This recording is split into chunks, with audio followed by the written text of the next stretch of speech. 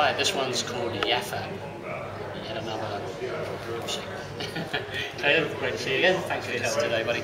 Uh, let's give these a little shuffle. Cards are used not only for playing cards and by magicians, uh, they're used by gypsies and fortune tellers to tell the past, the present, and the future.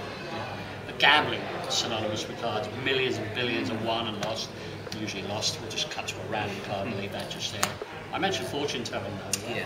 Okay, we're going to try something. We're going to look into your past, the present, and the future. What I want you to do is cut off a small packet and flip them face up on top of the deck. This will represent your past. That's an interesting card. It tells me in the past you used to be a bit wild at the weekends, got a bit mad on the beer with the boys and the girls, uh, but had fun. Yeah. That cut deep to represent the present.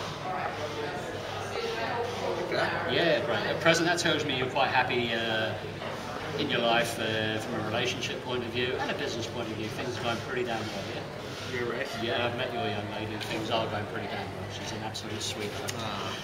Now the future. The future. This card here will represent your future. Yeah, images there. Now this six actually tells me something. It tells me you'll change a decision if you need to make a, a change. You know, if something needs to happen that will be changed, you'll, you'll change. Yeah. Always on impulse. Okay. Actually, talking about impulse, I'll just uh, take the cards off one at a time. On impulse, just say stop somewhere. Stop. Just here, yeah? Yeah. But you could have gone one further. Or you could have gone one sooner, yeah. That's true. Now this is the most recent card, so let's have a look and see what it is. I'll be damned, it's an ace. Have a look at that card. Turn it over. Turn it over. There's an ace. Mm-hmm. Remember I said earlier you change things if need be. They have to be changed. You must have a card, a look at the card which represents.